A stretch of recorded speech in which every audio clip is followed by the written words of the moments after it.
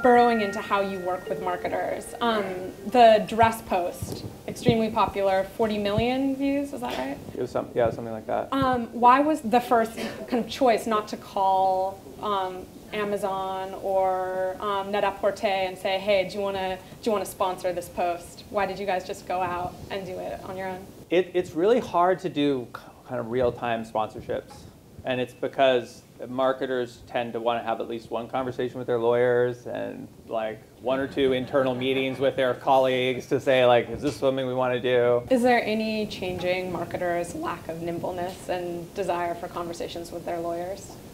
Um, there's been some changes. I mean, I think that there started to be a kind of war, war, more war rooms of being able to respond quickly I mean, crisis communications is, you know, the good good crisis communication shops are good at doing that, but they usually are doing it in crisis instead of doing it to take advantage of opportunities. Mm-hmm. And so, if you could figure out, um, you know, uh, how how to take advantage of positive things, not just sort of reacting quickly to negative things, you could you could, you could have a, a big benefit. And, mm-hmm.